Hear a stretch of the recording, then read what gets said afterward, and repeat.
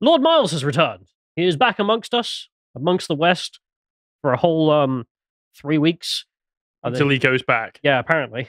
I mean, that's what he said. Of uh, He's pref- he he said, and you'll understand this context as we go further in. He prefers uh, Afghan Callum to English Callum. I think a lot of people do, to be fair. Oh, So, what? Even you? well, I literally got some random guy come up to me and said, "I love you." That's that's pretty. I never had that here. Yeah, no, I'm not talking about like like you in Afghanistan. I mean the guy who is just you but Afghanistani. Oh, oh yeah, there's a few of them. They're pretty cool. They're, they're nice guys. All right, but for people who don't know, Lord Miles, um, he disappeared off the face of the earth because he was uh, detained by the Taliban. I'm not going to get into all the details because that's for him to reveal. That's his whole uh, uh, situation. So I'm going to be talking about what's publicly available. But now there is a lot more publicly available. I, I've, people have noticed I've not been talking about the fact he disappeared because I was under orders not to, and now he's back. We can do something about it. Although you, you had repeatedly said in the recent weeks leading up to this that, by the way, he's alive. By the way, Yes. he, he is alive, and you kept saying this, and then Raw Egg Nationalist and other people, when I have received video and uh, and audio and all the confirmation that you need to say he's alive, and I saw so many accounts on Twitter going, "He's dead." Yeah. he's dead. His friends are saying he's alive. That must mean he's dead. Speaking of that, I'm gonna I'm gonna title this segment "Lord Miles Never Dies," which I'm well aware will age terribly at some point, maybe soon. Who knows with Lord Miles? It's, it's just a bit of a bit of a funny character. I mean, he knows. You know, there's risk reward and high risk high reward. When's when's he getting captured by Hamas? Um, but I did ask That- him. I mean, because uh, surely he's got a list of terrorist organizations he wants to No. be caught by. No, because the Taliban aren't a terrorist organization. Oh, sorry. That's Yeah. the thing. Well, I mean, Hamas would be the first in that case. He t- Lord Miles has nothing to do with terrorism. He's never engaged with terrorists. He only hangs out with people who are off the prescription list. So there we are. Let's let's make that legally clear. so people who don't know, you can go and check out. I did an interview with Lord Miles ages ago. This is this is this is that where you can, you can go and see it. We talk about dark tourism. In comparison to the recent photos, he's got such a baby face here, doesn't he?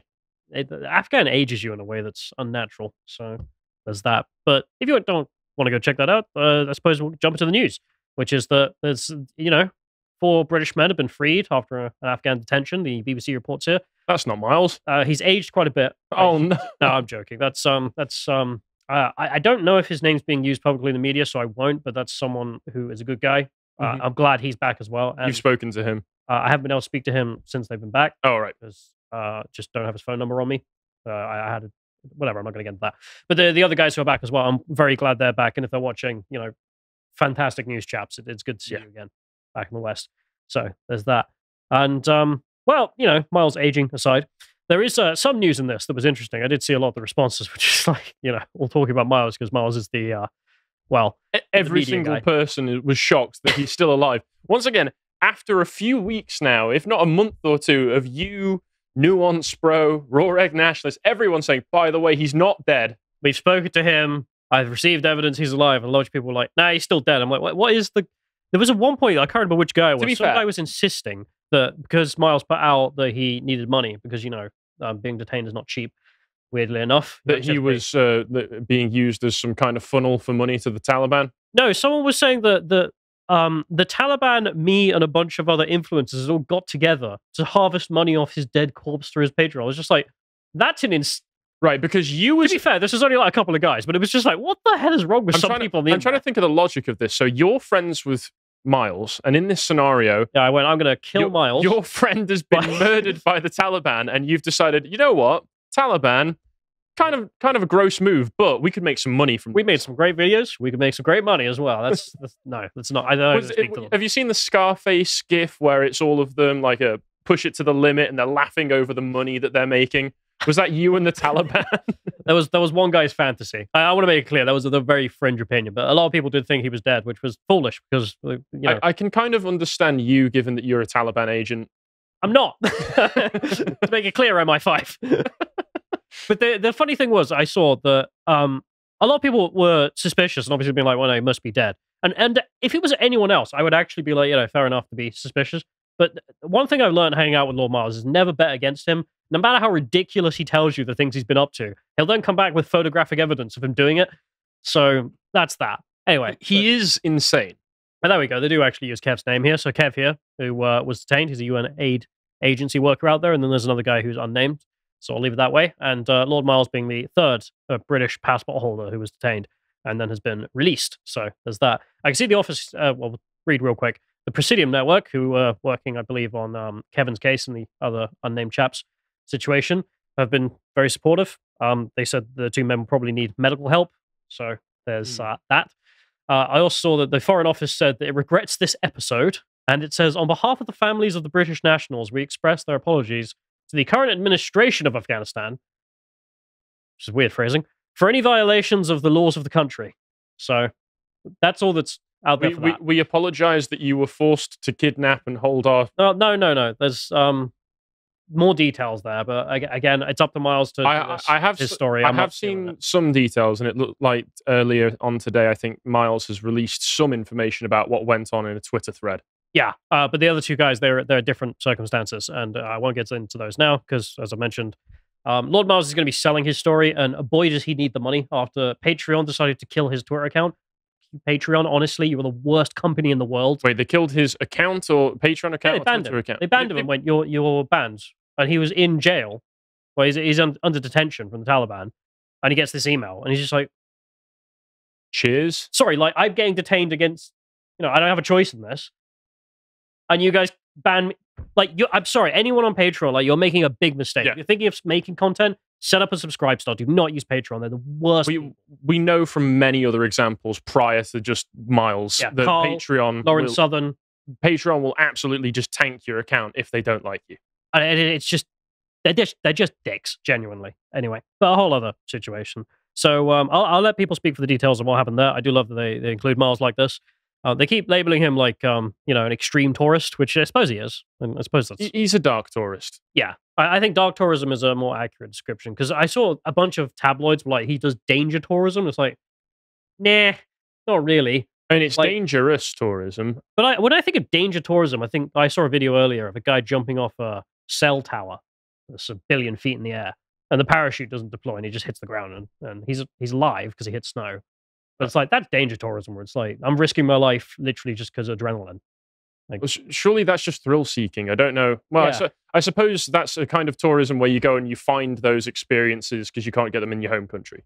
I, I presume so. I mean, Miles does have um, other interests than just, you know, I want to die. I, know it may be hard you. to believe, I don't believe you. but you know. I've met him briefly the once, and he definitely had a streak in him. So we'll we'll go to the uh, tweets he's made because uh, again, this is his story. So he says here, eight months in Taliban intelligence uh, quote custody, best adventure I've had yet. all the previous tweets are true. Best mates with many of the top commanders. After numerous picnics, go for picnics Right. with the uh, commanders of the Taliban intelligence. Cool. And you can see here, lovely lads, treated me as a guest. I will be returning to Kabul next month. Right. I just want to point out everybody in the office has noticed this. You watching have probably already noticed this. Callum, this chap right here, that's just you. That's not. That's you He's got eyeliner. with a tan and eyeliner. That's what's going on, Callum. I know you were away for a few weeks. How do you think I was talking to Miles? Should have known it. Ah, how you doing, brother? Anyway, I'm at the cover. what was that accent? T- you tell me. You're the one who's been to Afghanistan. Uh, they, uh, You're the one who is Afghan. well, You should have worn your special outfit for this segment. yeah, that might have been fun. But I, I, I might do a video about this for myself about just the, the other stuff that went down because, of Yeah. course, um, me and Miles's uh, friends, when he went missing, were just like, ah, where is he? and, and instantly tried to try and figure out what went on. And uh, there's that side of it. But do go check out Miles. I do love the responses here. It's like, yeah, eight months with Taliban. It's whatever. You know, Best buds with them now. Went on a few picnics with them. please God, let this happen because it would be so funny. Yeah, that's the thing about Miles. I mean, hey girl, yeah, it's me. Eight months with the Taliban. It was a really nice adventure. Lights up sig. yeah, and there's, And that's a hell of a story. the Taliban Star Wars makeup. They're just some of them are, are just like that. All right, it's leave, leave them alone. On his way to Jerusalem. I saw that one as well. Yeah, The uh, return of the return of the king. and of course, I mean there are a lot of memes about this, to, to say the least. As you can see here, I saw Cody from Alternative History Hub. It's just like you know, Miles, five seconds after getting released and uh, seeing the news in Gaza. I've got an idea! This is what I'm saying, man. It's going to be Hamas next. He's going to come out being best friends with them. Guys, I've managed to negotiate peace talks between Palestine and Israel. We managed, we managed to do it. They're Look. both British territories now. he's got them in both arms, and he's just like, "Boys, we found common ground. Um, you know, No more brother wars. Western women have got to go. That's no, I don't, I don't know about that, but he's uh, he is uh, I don't think getting dropped in Gaza, as we can see now. I think the Taliban have rerouted the flight, so he won't be going to uh, Heathrow. dropped off at Gaza International, where he can. uh, Oh, I have spoken to him this morning, and the I, memes are so good. uh, I did mention to him. So, how do you feel about a weekend away in Gaza? And he was just like, "Well, yeah, maybe." I don't know. Yep, yep. some considerations taken into account first. You know, got some. Uh, he's got some post in the mail that needs responding to. I bet. Bit of a gas bill. Has uh, left one light on. The electric's gone mental. Octopus Energy, no. This is the worst challenge yet. Speaking to call center drones. Take me back like, to the desert. Why do you have the same accent? That's that's that's weird. That's strange. Wait a second, Habibi? oh my ears! Oh, don't worry, it's cancelled.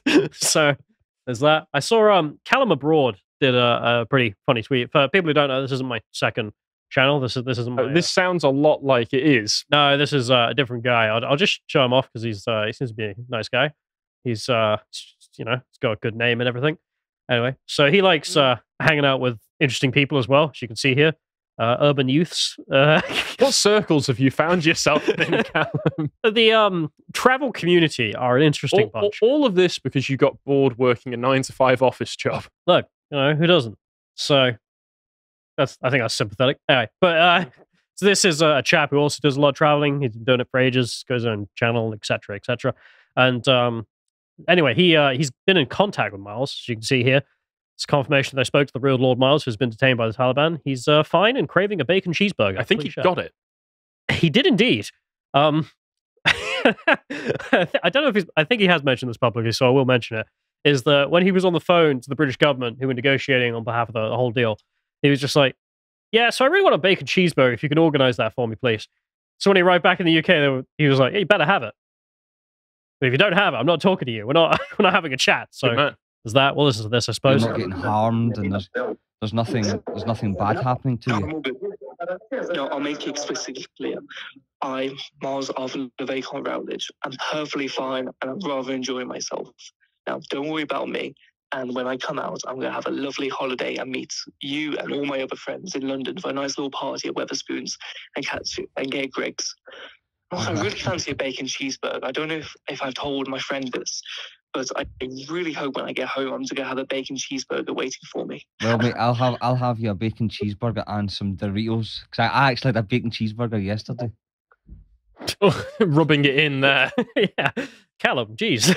Oh my god, that was Uh, a bit unnecessary. Below the belt. You know what's doubly weird about that is that, as you can see here, um, Callum abroad, he, he went to Kabul as well. He's traveling around Afghanistan at this point. And um, before that, he was was he in- doing it right now as we speak? Uh, not right now. I've been Oh, okay. returned, but he, he um, was just like, well, you know, YOLO. Well, apparently, Also bored of his nine to five. I wouldn't recommend it for everybody, but apparently, it, as long as you're just a, a funny, wacky dude, it's easy to get along in Afghanistan. to be honest, I, I'm not recommending everyone travel. No. obviously, but um, one of the things I have learned from checking out sort of the, the travel community, as I'm going to call them, because um, you know, Callum abroad here, you know, he's he's one of them. You know, Miles, interesting guy. Um, there's like a, a, another few people I've been introduced to who, who travel to really interesting places all the time, and that's what they like doing. Is that um, their secret weapon really is just being charismatic and friendly to the locals. Just find out whatever they like and just get along with them. So, like Miles has said Is previously, that what you did? well, Miles said previously he went to the Turkish uh, checkpoint in Kabul when it was collapsing, and they were like, "No, no, no, we're not letting anyone in." And he just went, "Whoa, whoa, whoa! Don't worry, I'm not Greek." and then they went, "Ah!" and then let him in. Ah, come on in, buddy. so, you know, as long as you get along with the local if it people, works, it works, I suppose. it's uh, the best advice, best travel advice someone can ever give you. Um, well, check out the previous tweets that he's referencing here about the fact that he said all of his previous stories were true. Real quick, I suppose. So this is uh, a friend of Lord Miles to give an update. Four months in Taliban custody. That was halfway. And as you can see here, just me and the boys chilling. Why would you not be? still loves Afghanistan, so feels like he's on holiday. He's sunbathing, playing Team Fortress 2, and writing his He second was book playing TF2 the whole time. for a lot of it. Yeah. Oh, nice. Um, playing TF2, writing and then reading T.E. Lawrence over and over and over again. what else are you gonna That do? sounds pretty chill. Yeah. Exercising, has chocolates, cakes. He, he certainly uh, did. So uh, this was all about his uh, Afghan gold mine adventure as well, which he, I believe, has spoken publicly about. Which he he found out that there's an Afghan gold mine that the Americans had done the mapping for, and then there were, the recommendation in the report was mine immediately because it's it's so easy to get.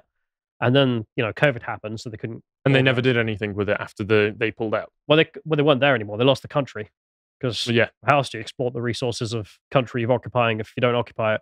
drones. So, yeah, so Lord Miles is just sort of like, yeah, I'll have that. That's that's uh, I'll take that business. So that's what he's uh, trying to do as well. So yeah, he's talking about the fact that they were were kind to him. Hasn't been this relaxed in years. Lovely to get away from it. I do wonder. I'm, I'm going to ask him at some point. It's just how did you deal with not having constant internet access and a phone? Because that must have been just, ugh. Because he's very much a zoomer like me who sits there, Hmm. death staring. So uh, Wondering about which part of the Middle East you're going to visit next. Yeah, just uh, you know check whatever's trending, I suppose.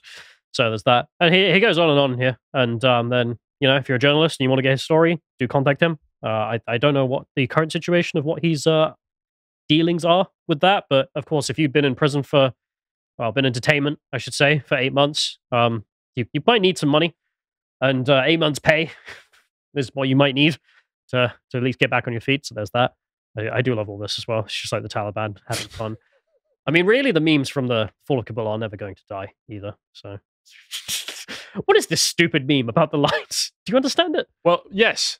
Right. Okay. If the line is straight, it means you are the dominant one because you don't feel the need to lean into anybody else and therefore, um, like, uh, leech off of their energy. Whereas if you're leaning into someone, it means that you're dependent and submissive on them. What we're seeing here is that every single one of these people is leaning. So, paradoxically, Except from this Chad, he's uh, well, no, he's he, his line is also going off in an angle. So what this actually means is that they are all so relaxed on one another and so dependent on one another that their coexistence turns it back around into being based.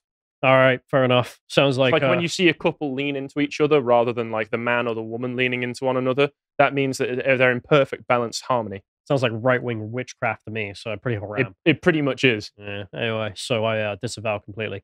But we'll just end this off with um that fact we were talking about earlier. It was kind of weird. I, I don't know who was disbelieving, but um don't worry. Like I'm not going to lie. Like what would what would be the point? So some people were disbelieving that you know there's me here. Yeah. What would be the point, Callum? Why would you lie? Oh, you know what? I want um more followers on Twitter.com. You know what I'm going to do with them? Uh, engagement bait to get money from Elon Musk? I'm not. I don't have Twitter Blue. Oh yeah, you don't actually, do you? So what? Oh, you're a sucker, eh? Yeah. Oh, fair play. I'm like, it's kind of pointless. So there we are. There's also Oliver over here. I've been chatting to him the whole time. Very good guy. And um, have, we, have we got a picture of the gains that he's made? I don't know if we do actually. I don't think we do. We because we should get up a picture of the gains that he's made because it's very impressive. Raw Egg Nationalist tweeted it out. When you got nothing else to do. I mean, here's the shoes he's apparently selling as well. The, the Taliban have a weird uh, thing where they, they like to wear these certain sneakers, and that means you're special forces or you're high tier, which is a whole other. Someone else could explain it better than I can. Miles can explain it better than I can. Don't ask me to explain the preferences and behaviors of the third world. So you got some Taliban guys to sign them. So if you want a, uh signed pair of sneakers from Taliban Special Forces, if you uh you and your buddies are doing airsoft and want to role play that bit harder, then uh, you can do that, I suppose. And uh, I suppose we'll this off with just the fact that there's some other guys who are making good Are memes. they reading his books? The Ministry of Culture of Afghanistan has now revealed the list of top selling books in Afghanistan. Number one, Lord Miles in Afghanistan. Uh, number two, Afghanistan Napoleon, the life of Ahir Ahmed Ahmed Shah Massoud. Number three, How to Fix Your Car. Pretty popular, actually. That's a routine problem. Is this is this real or is this like an AI generated image? Number four, Keep an Eye on the Feminists and Homosexuals. That's also a, a good read. Um, five out of five. book? That's that's uh, just good advice. Uh, number five. number five, The Art of War. But there we are. This is a real image as well. People wondering. This is Lord Miles when he was detained Um, he gave them a copy of his book about. Did he just have a few copies with him? That was like, oh, here you go. Yeah, so he was like, "Oh, hello, Mister, um, you know, MI5 of the Taliban." And they're like, "Oh, good to meet you. You're, you're very famous." A couple of selfies, and then he was just like, "Yeah, have a read of my book, would you?" And they're like, "Oh, it's pretty good." So then he got them to sign them as well. Oh, So, nice. memories. But anyway, the Lord is back. Um, it's good to see him, as you can see here. He's in good spirits. Um, not been, I suppose, the uh, time I would spend if, if I had time to kill, but uh, whatever. It's it is what it is, and he had a hell of a time. So look forward to the interviews, and I look forward to chatting to him in person and um, getting Go- that. Going for that Wetherspoons party with him. Oh boy, can't wait to order more peas. Ooh. We'll move to nothing working. Gets back to England. First thing, first thing he wants is Wetherspoons. Yeah, weird choice to be honest. I'd say, uh, He doesn't know that they've got, inspe- got expensive, does he? Oh no, he's missed so much. God, he missed out on inflation. No, he hasn't. no, he hasn't. He's going to catch right back up when he gets back. If you appreciated that segment from the podcast of the Lotus Eaters, you can go to lotuseaters.com to get access to all the premium content we have on the site, such as Lads Hour, this one on Who Would You Spend 48 Hours As. If you'd like to find out what else is being put out, you can follow on GETTR at lotuseaters underscore com on GETTR. Thank you and goodbye.